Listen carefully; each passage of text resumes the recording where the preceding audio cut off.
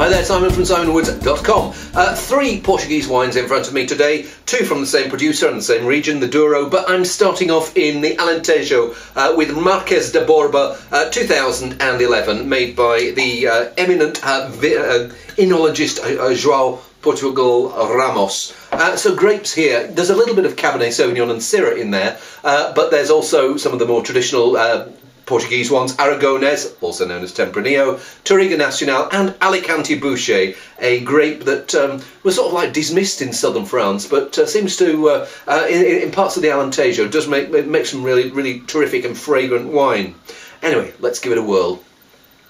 Well, I stick my nose in there and there's a juicy, soft, just the right side of jamminess about it. it feels like it's going to be fresh and bouncy, uh, and there's a fragrance about it as well. I don't know. There's the Syrah, I think, goes always giving fragrance there, uh, but there's there's fruit fragrance and there's there's floral characters as well. It smells it smells really good, nice perky, um, per, yeah, perky wine. I mean, it's it's just before Christmas now. I don't know when I when I'll get to posting this, but I imagine having this with turkey would be pretty good. Oh, that's a pleasure to drink. Uh, oh, sorry, to taste. Um, it's got this rounded, rich, jolly fruit, um, uh, but it's got a freshness about it as well. It's got this earthy feel of the soil about it, and it's got the fragrance as well. Um, I'm not sure how much oak they've used here, but it feels unhampered by any over woody characters and um, jolly nice glug. I like that. Uh, next one I've got, uh, well, the next two from the same winery. Uh, it's the um, the uh, Duorum winery. So this is their uh, Tons Duorum. So I think this is their um, entry level wine. I can't remember how many tiers they've got. I think they've got they've got three tiers. So I've got the uh, lower tier and the middle tier. Anyway, this one is the Tons de Duorum, uh, red 2010, and grapes. I imagine it's a typical Douro blend uh, with quite a bit of Touriga Nacional and Touriga Franca and Tinta Roriz, uh, maybe pepped up by some of the other grape varieties. Anyway, I'll give it a give it a sniff. Well, it doesn't uh, doesn't smell quite as uh, vibrant and buoyant and boisterous as the uh, as the Marquês de Borba. It smells okay. Uh, there's this rounded, plummy, red berry character. Um, maybe a bit of damson in there but uh, just feels a little bit restrained. I don't know whether it, it needs to come out of its shell, uh, but today it just feels it smells. It smells okay, uh, but um, hard act to follow. Anyway, let's taste it. Bit of toffee, this red berry and um, and plum. Um, it's okay, um, uh, but um, doesn't have the extra mile for me. It's it's a nice, juicy, honest drink, uh, but um, I think there's I think there are a better Douro wines. Let's see whether the third one is a better Douro wine. So it's the uh, same vintage, uh, but it's called Duorum Colheita. Colheita just means uh, from a, uh, a, vintage, really. And uh, some people put it on their uh, top class wine. Some people just use it to to denote that it's all from one year.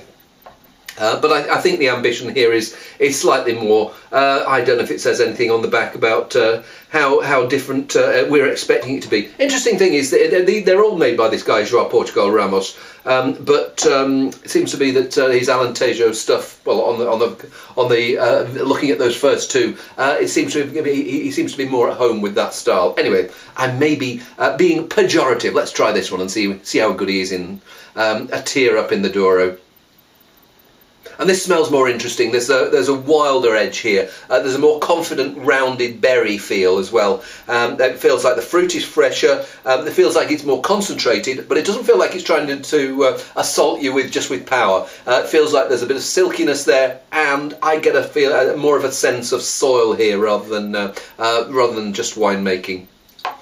Yeah, quite classy wine that. Um, yeah, there's this richer plummy edge, but um, it's, it's, it's got more structure to it as well. It's got acidity, it's got tannin, uh, and it's like the flesh is draped over it. So it's a stronger skeleton, but more flesh to drape over it. And uh, so the flavours I'm left with, there was a little bit, I was talking about that, that's like toffee edge. I get, I get a little bit of that, that uh, treacly sweetness here. Not, it's not, as I mean the flavours rather than the sugar edge.